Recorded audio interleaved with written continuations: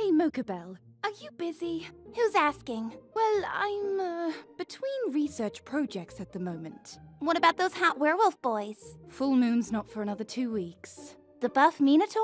Away visiting family. The Sphinx? I'm still deciphering her last letter. It's either an invitation to lunch or instructions on how to steal the Declaration of Independence. Wow, it sounds like you might have to do something drastic like have with a human. you you have had with a human, right? Oh my god. Eclair! Oh my god!